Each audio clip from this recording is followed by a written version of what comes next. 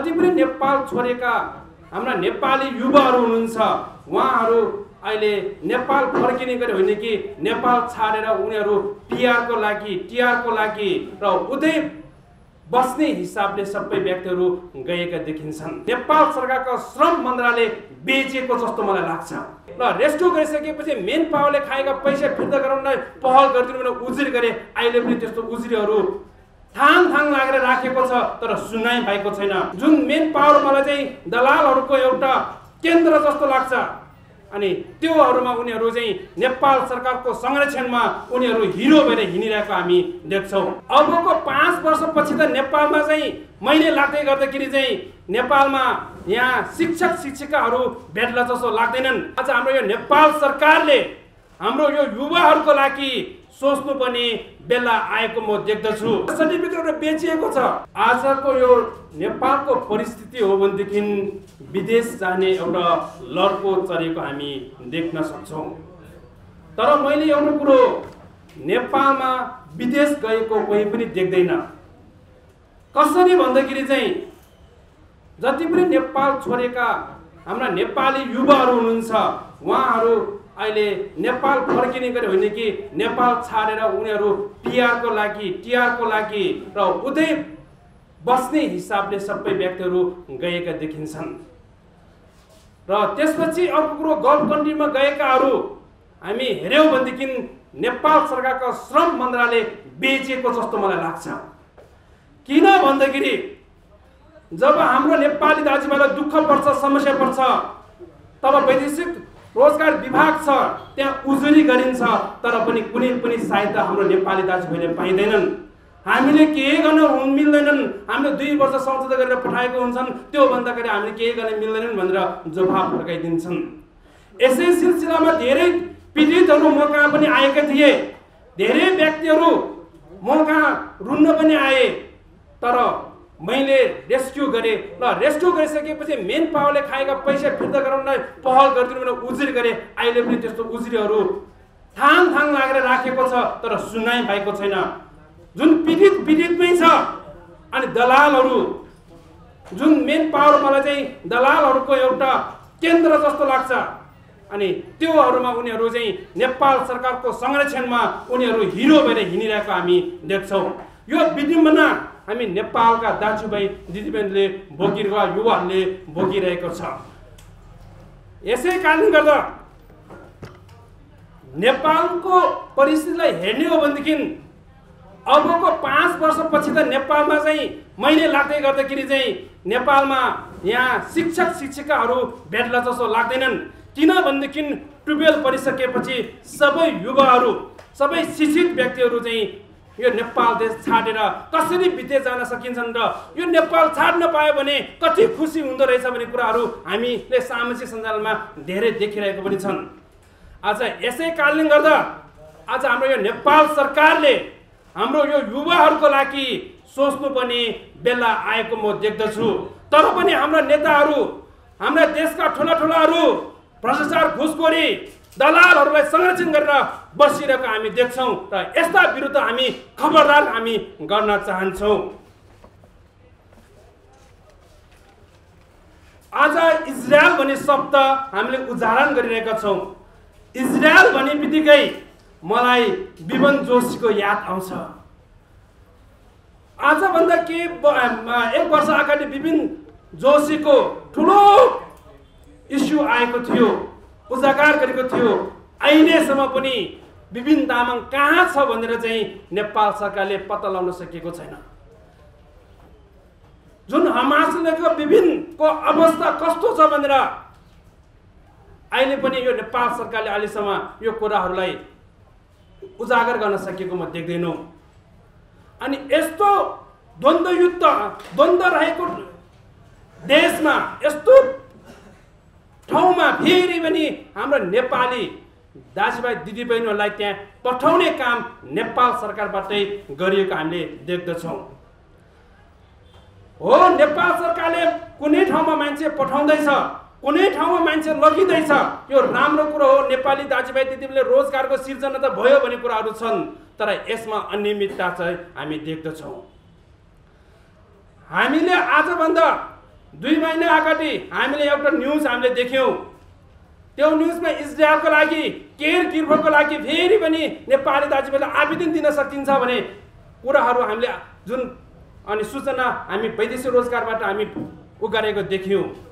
त्यसपछि जतिजना care giver training लिएका व्यक्तिले आवेदन दियौँ र दिइसकेपछि फेरि एउटा कुरा के कुरा बजारमा आयो भनेदेखि नक्कली सर्टिफिकेट आयो र पाँच सय त्रिसठीवटा नक्कली सर्टिफिकेट भेटियो र उनीहरूको चाहिँ अनि फार्म रद्द गरियो भन्ने कुरा भेटियो।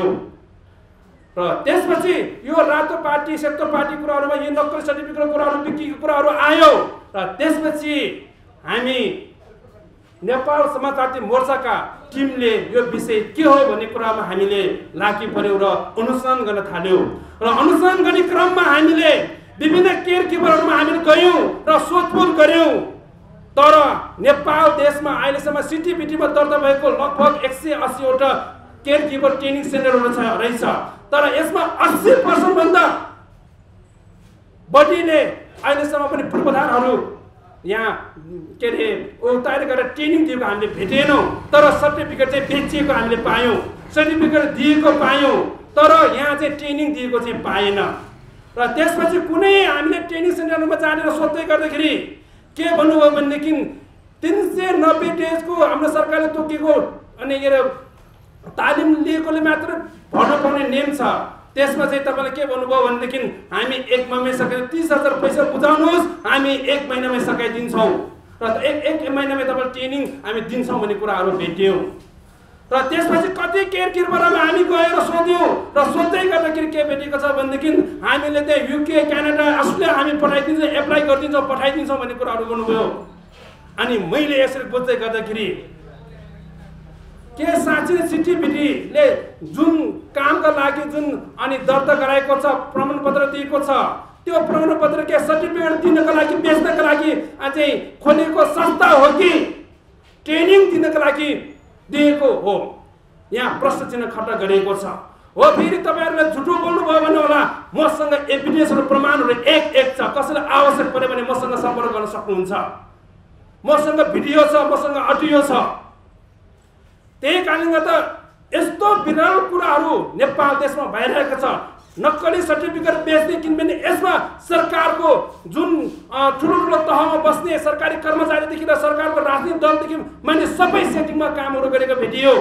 यसमा हामीले कुरा गर्दै गर्दाखेरि अर्को कुरा के पनि भेटेको छ भने आफ्नो सेटिङ गर्ने अनि आफूसँग नजिकका व्यक्तिहरूसँग लाखौँको कारोबार गर्ने व्यक्तिहरूलाई मात्रै यो केयर किपरमा ट्रेनिङ दिएको भनेर सर्टिफिकेट दिएर त्यो व्यक्तिलाई इजाब पठाउने सेटिङमा काम गर्ने कुराहरू हामीले यहाँ भेटिएका छौँ। यसै कारणले गर्दा हामी सरकारलाई के भन्न चाहन्छौँ भने खबरदार। यसरी हाम्रो नेपाली दाजुभाइ दिदीबहिनीहरू युवाहरूलाई बेच्न पाइँदैन। न नेपालमा हुँदा त नेकली सर्टिफिकेट भनेर बेचिन्छ भनेदेखि उता गएपछि हामीले अकालमा ज्यान गुमाउनुपर्छ। त्यो इजरायल देश भनेको अहिले पनि युद्धग्रस्त देश हो। त्यो देशमा जानको निम्ति नेपाल सरकारले सोच्नुपर्छ भने हाम्रो नेपाल कतिको अनि चाहिँ सुरक्षित छ कि छैन भनेर सोच्नुपर्ने हो। तर यो कुरोहरू नेपालले नेपाली सरकारले यो कुरोमा ध्यान दिएको हामी भेट्दैनौँ। अनि नेपालका जति पनि के अरे सिटिबिटीमा दर्ता भयो भने संस्थाहरू छन् उनीहरूलाई चाहिँ नेपाल सरकारबाट नै परिचालित गरेर सर्टिफिकेट बेच्नलाई सब सर्टिफिकेट बेच्नु भनेर दिएको दर्ता गराएको हो कि?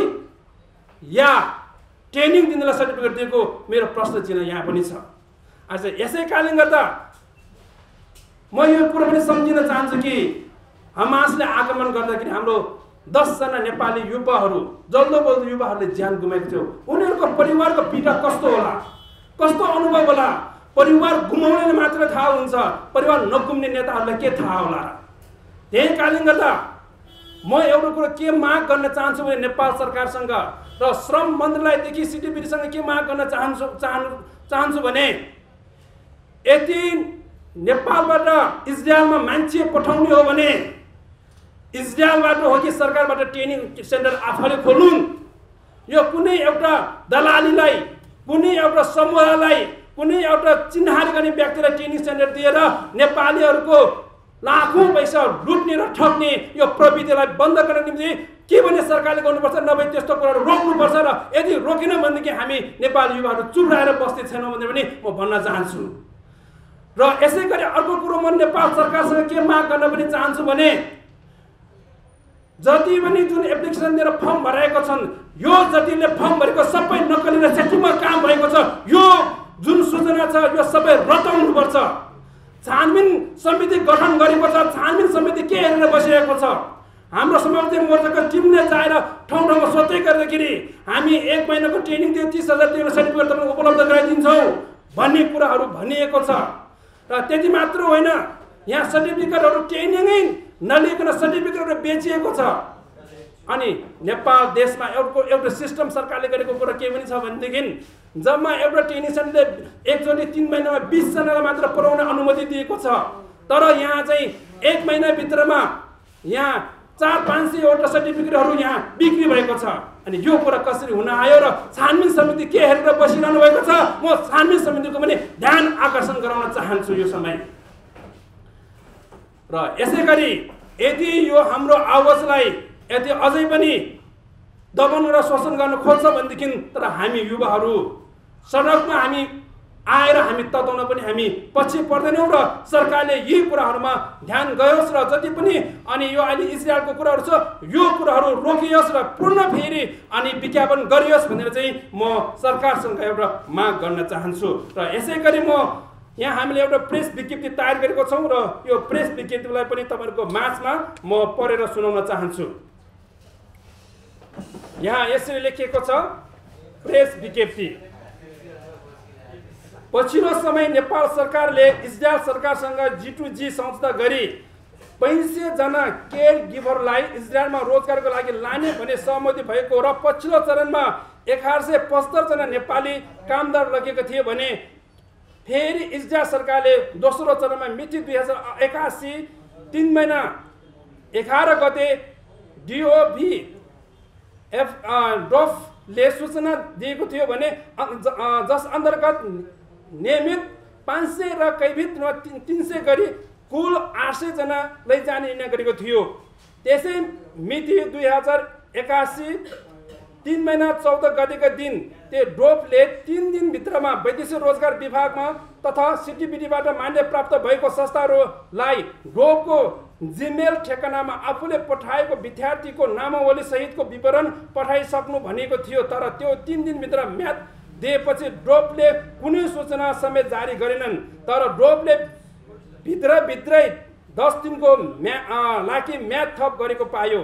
खास गरी एट एटु एटुको परीक्षा दिने सङ्ख्या धेरै भएको कारण भित्रभित्र म्याथ थपिएको थियो तर नाम लिस्टको लागि भने म्याथ थपेको थिएन तर पछि सङ्ख्या थपिँदै समाचार सार्वजनिक हुनको साथै तिन दिनभित्रमा चार हजार चौबिसजना चौबिसजनाको सङ्ख्यामा आवेदनहरू कहाँबाट समावेश गरियो? भन्ने प्रश्नको उत्तर समेत फेला परेको छैनन्। विशेष इजरायलमा केयर गिभरको रूपमा कार्य गर्नको लागि नेपाल सरकार अन्तर्गतका सिटिपिटीबाट करिब एक सय असी संस्थाहरूले मान्यता प्राप्त गरेको रहेछन् तर मान्यता प्राप्त अस्सी पर्सेन्ट प्रतिशत संस्थाले ल्याब एवं पूर्वाधारहरू समेत बनाएको छैनन् भने केयर गिभरको तालिम समेत गराएका छैनन्। उल्लेखित बहुसङ्ख्यात्मक संस्थाहरूले हामीहरूले केयर किपरको तालिम समेत गरेका छैनौँ भनेर खुलेआम भनिरहेको सन्दर्भमा अब यो संस्थाहरूले कसरी केयर किपर सर्टिफिकेटहरू प्रदान गरेको हुन् त भन्ने प्रश्न समेत खडा भएको छ। कम्तीमा तिन सय नब्बे खण्डको केयर गिभर सम्बन्धी तालिम दिएको र त्यसको तालिमको प्रमाणपत्र प्राप्त व्यक्ति हुनुपर्ने शर्त समेत रहेको छ। तर नेपालमा केयर गिभर सम्बन्धी तालिम दिन भनी खोलिएको अधिकांश तालिम एवं प्रशिक्षण केन्द्रहरूले अहिलेसम्म न्यूनतम रूपमा तालिम गर्ने गराउने भौतिक पूर्वाधार एवं तालिम केन्द्र समेत नै नगरी केवल साठी खण्डको तालिम दिएर तिन सय नब्बे खण्ड तालिम दिएको भने केयर गिभरको प्रमाण पत्र दिइरहेको अवस्था छ। यस्तै प्रत्येक व्यक्तिबाट जननी तिस हजार रुपियाँ रकम असुल गरी पहिलो तालिम सिकेको प्रमाणपत्र र पछि साठी खण्ड सिकाइ तिन सय तिन सय नब्बे खण्ड सिकाएको भनी प्रमाणपत्र दिने गरेको छ। यसै आजको दिनसम्म नेपाल सरकार र सिटिबिटीले यस्ता प्रशिक्षण केन्द्रमाथि कुनै अनुमान नि निरीक्षण गरेको छैनन्। यस्ता प्रशिक्षण केन्द्रहरूलाई कारवाहीको दायरमा समेत ल्याउन सकेको छैनन्। अन्त तालिम सिकाउने भौतिक पूर्वाधार एवं तालिम केन्द्र नहुँदा नहुँदै सिटिपीले के आधारमा सम्बन्ध सम्बोधन दियो अथवा दर्द दियो भने जिज्ञासा समेत उठेको छ। एसएस काठमाडौँको इसा हेल्पलाइन केयर्स गिभर ट्रेनिङ एवं रिसर्च सेन्टरले पनि विद्यार्थीले तिन महिना तालिम लिएको भनी विद्यार्थीको हाजिर कपीमा विद्यार्थी बोलाइ सही साफ गर्न लगाएको। अनुगमनको क्रममा जाँदा सञ्चालकले तिस घन्टा परेको भए तापनि तिन सय नब्बे घन्टाको सर्टिफिकेट दिन्छौँ भनेका थिए। पहिलो ट्रेनिङ नदिएर सर्टिफिकेट दिने र पछि तिस घन्टाको तालिम दिएको पायो भने कसैले त्यो त्यो पनि नगराई सर्टिफिकेट। बिक्री गरेको समेत देखियो। उल्लेखनीय इसा हेल्प हेल्पलाइन विरुद्ध युके पठाउँछु भने रकम उठाइ युके नपठाएको भन्दै ठगी सम्बन्धी मुद्दा समेत परेको अवस्था छ। कुनै पनि सि सिटिपिटीबाट मान्य प्राप्त संस्थाले शाखा खोल्न पाउने तर शाखा भनेर नामाकरण गर्न पाइँदैन। अनिवार्य रूपमा शाखाले पनि सिटिपिटीबाट मान्यता गर्नुपर्ने हुन्छन् तर इसा हेल्पलाइनले त्यस्तो प्रक्रिया पुरा गरेको पाइँदैनन्। विगतको दिनहरूमा पनि यस्तो संस्थाले युकेमा वर्किङ भिसा लगाइदिन्छु भने सयौँ विद्यार्थीहरूबाट ठुलो रकम असुल गरी पछि युके नपठाइ ठगी गरेको भने उजुरी समेत परेको अवस्था छ र केयर गिभर सम्बन्धी कार्य गर्ने संस्थाले वैदेशिक रोजगार कामकार कामदारहरू पठाउन मिल्ने वा नमिल्ने यसबारेमा समेत गम्भीर तरिकाले अनुसन्धान गर्न आवश्यक छ। तसर्थ नेपाल सरकारको ध्यान आकर्षण गराउन चाहन्छौँ। अत हामी नेपाल सरकार सिटिपीसँग यसै पत्र पत्रकार सम्मेलनमा जारी गरेको प्रेस विज्ञप्ति मार्फत निम्न विषय एवं मागहरू उठाउन चाहन्छौँ। बिना पूर्वाधार सेटिङ र आर्थिक चहलकेलको आधारमा सिटिबिटीबाट मान्यता दिएको केयर गिभर सेन्टरहरूको अनुगमन तथा निरीक्षण गरी तिनीहरूको अनुमति खारिज गरी तिनीहरूलाई तत्काल कारवाही गरियोस्। भौतिक पूर्वाधार एवं स्रोत साथ नभई केही नगरी सिटिबिटीबाट केयर गिभर प्रशिक्षण केन्द्रहरूलाई सम्बन्ध दिएको वा सोको नेपाल सरकारको तर्फबाट अनुमान अनुसन्धान गरी आवश्यक कारवाही गरियोस्। हाल नेपाल सरकारको तर्फबाट इजरायलमा केयर गिभरको रूपमा दुई हजारजना लैजाने भनी भनिएको विज्ञापन तत्काल खारेज गरी नयाँ ढङ्गबाट इजरायल लगियोस्। भनेर चाहिँ हामी माग गर्न चाहन्छौँ। यसै गरी यहाँभन्दा अघि केयर गिभरको रूपमा इजरायल गएको नेपाली केयर गिभरहरूलाई इजरायल सरकारले तालिम प्रशिक्षण नदिन आएको भनी सार्वजनिक रूपमा आलोचना समेत गरेको हुँदा नेपालको छपी अन्तर्गत रूपमा धुमिल भएको तथा नेपाल र इजरायलहरूको सम्बन्ध समेत बिग्रन गएको अवस्था हेर्दा सरकारले यसबारेमा गम्भीरतापूर्वक ध्यान पुर्याउनु पर्ने देखिन्छन् र सरकारको ध्यान आकर्षण पनि गराउन चाहन्छु। र यति भन्दै मेरो दुई सप्ताह यहीँ राख्न चाहन्छु। यहाँहरू सबैलाई नमस्कार। आज इजरायल केयर गिभर कार्यक्रमको सम्बन्धमा आयोजनामा मलाई चाहिँ दुई शब्द राख्नु दिनुभएकोमा हाम्रा युवराज सफलज्यूलाई म हृदयबाट मुरी मुरी धन्यवाद दिन चाहन्छु र र मेरा साथीहरू हुनुहुन्छ यहाँ उहाँलाई पनि मुरी मुरी धन्यवाद दिन चाहन्छु र हाम्रा पत्रकार मित्रहरूलाई पनि म हृदयबाट मुरी मुरी धन्यवाद दिन चाहन्छु। र इजरायलको कुरा सम्बन्धमा इजरायलमा मात्रै नेपालीहरू ठगिएका छैनन्। हेर्नुहोस् त नेपालमा हेर्नुहोस् त नेपालीहरू कति ठगिरहेछ। तपाईँहरू यसो विचार गर्नुहोस् त नेपालीबाट नेपालीहरू नै ठगिरहेको छ ठगिरहेको छ भने सरकारबाट नेपालीहरू कति ठगिरहेछ? यसको मूल्याङ्कन तपाईँहरूले गर्नुभएको छ? कहिले आवाज गर्नुभएको छ? किन आज नेपालीहरू विदेशमा ठगिरहेछ भन्दाखेरि नेपालमा नेपालीहरूबाट ठगिरहेछ भने के विदेशमा चाहिँ ठगिनु पर्दाखेरि के ठुलो पहाड खस्यो र? यसलाई सामान्य लिनुपर्छ जस्तो लाग्छ मलाई। आज हेर्नुहोस्। नेपाल सरकारले इजरायलसँग जिटिजुको सम्झौता गरी पैँतिस सयजनासम्म लिएर जाने सम्झौता गरेको छ। तर यहाँ नेपाली दाजुभाइले इजरायल जानु अगाडि नै तालिम लिनु पर्थ्यो। तर त्यो तालिम तपाईँको तिन सय नब्बे घन्टाको तालिम थियो। तर यहाँको मेन पावरले हेर्नुहोस् त साठी घन्टामा सीमित पारेर तिन सय नब्बे घन्टालाई ख्यालेर चाहिँ नेपाली जनतालाई चाहिँ तालिमविहीन बनाएर चाहिँ इजरायल विदेशमा पठाउने जुन कार्य भइरहेछ त्यो कार्यले गर्दाखेरि नेपाली जनताहरू अकालमा मृत्यु हुनुपर्ने पनि अवस्था आएको छ। र यसमा म के भन्न चाहन्छु भने नेपाल सरकारलाई तपाईँहरूले चाहिँ यस्ता मेन पावरहरूलाई चाहिँ लाइसेन्स त दिनुभयो। लाइसेन्स दिनुभयो प्रक्रिया पुऱ्याएरै दिनुभयो। तर त्यो प्रक्रिया पुऱ्याएर लाइसेन्स दिँदाखेरि कति नेपाली जनताहरू आमा बुवाहरू दिदी बहिनीहरू ठगिरहेछ यस विषयमा कहिले पनि तपाईँले अनुसन्धान गर्नुभएको छ। आज मेन पावरहरू नेपाली जनतालाई ठगिरहेछ। तर यसको दोषी को हो भन्दाखेरि म पहिला सबैभन्दा पहिला चाहिँ दोष आरोप चाहिँ सरकारलाई लगाउँछु। तपाईँले लाइसेन्स दिएपछि त्यो मेन पावरहरूमा कसरी नेपाली जनताहरूलाई विदेश पुऱ्याइरहेछ तालिम प्राप्त गरेर पढा पठाएको छ कि छैन हँ? भनेर चाहिँ नेपाल सरकारले त्यसलाई निगरानीमा राख्नुपर्ने थियो अनुगम गर्नुपर्ने थियो तर त्यो भएको छैन। कति नेपाली दाजुभाइहरू आफ्नो देश छोडेर विदेश गइसकेपछि हेर्नुहोस् त त्यो जब विदेशको एयरपोर्टमा पुगेपछि जब ऊ कामको सिलसिलामा चाहिँ त्यहाँ विदेशको इजरायलमा भनौँ अरू अरू देशमा भनौँ त्यहाँ कम्पनीमा जाँदाखेरि त्यहाँ उहाँलाई चाहिँ काम चाहिँ ल तिमीले यो काम गर्नु पर्यो भनेर काम दिँदाखेरि नेपाली दाजुभाइहरू लाटोले केरा हेरेको जस्तै हेरेर बस्ने अवस्था छ।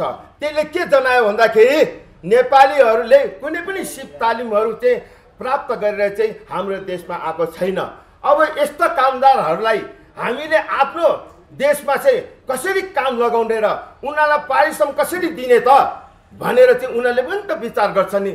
के हाम्रो नेपाल देश मात्रै चलाक छ र? के विदेशीहरू चलाक छैन त? के सिप जानेको लागि काम कामदार राख्नुपर्छ रोजगार दिनुपर्छ भनेर के विदेशीहरूलाई थाहा छैन? हो त्यसको कमी कमजोरीले गर्दाखेरि नेपालीहरूले रोजगार पनि नपाउनु र रोजगार पाएपछि पनि महिनामा सेलेरी नपाउनु तलब नपाउनु त्यस्तो विभिन्न कारणले गर्दाखेरि नेपालीहरू मारमा परेको पनि हामीले बारम्बार समाचारमा मिडियामा चाहिँ खबर प्राप्त भएको हो। तर मलाई के दुःख लाग्छ भने जब नेपालीहरूले नेपालमै ठग्छ भने विदेशमा त विदेशीहरूले त त्यत्तिकै ठग्ने भयो नि त।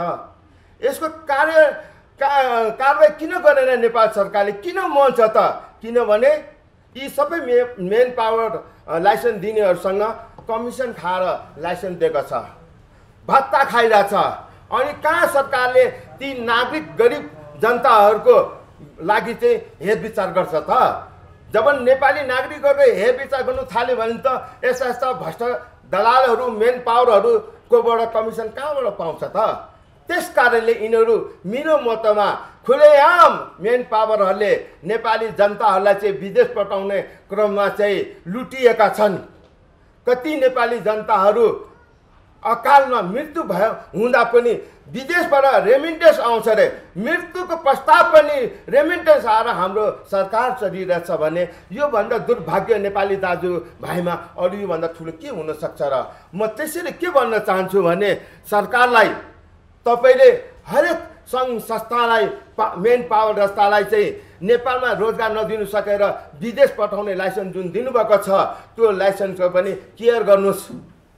अनुसन्धान गर्नुहोस् पठाउनुहोस् तपाईँको कर्मचारीहरूलाई खालि नेपाली सोझा साझा व्यापार बिजनेस गर्नेको ठाउँमा मात्रै होइन। यस्ता मेन पावरहरू जस्ता व्यक्तिको ठाउँमा पनि यस्ता ठाउँमा पनि तपाईँहरूले अनुसन्धान गरेर अगाडि बढाउनुहोस् के भइरहेछ मेन पावरमा आज? हो त्यस कारणले जब सरकारको नीति सही हुँदैन तबसम्म नेपाली जनताले विदेशमा मात्रै होइन कि नेपालमा पनि कहिले पनि आरामले काम गर्न र आफ्नो घर परिवार चलाउनुको लागि यो आम्दानी कहिले पनि गर्न सकिँदैन। त्यस कारणले म के भन्छु भने म त धेरै बोल्दिनँ। अब म यही दुई चार शब्द अझै राख्दैछु तर ने सरकारको नियम चाहिँ ठिक हुनु पर्यो। नेपाल देश चलाउनुको लागि यी शीर्षक नेताहरूले चाहिँ सिस्टममा बसेर काम गर्नु सक्नु पर्यो। जब सरकारमा बसेका ओहदामा बसेका पावरमा बसेका सरकारहरू सिस्टमबाट देश चलाउँदैन भने नेपाली जनताको के हाल हुन्छ तपाईँहरूले देखिरहेको छ।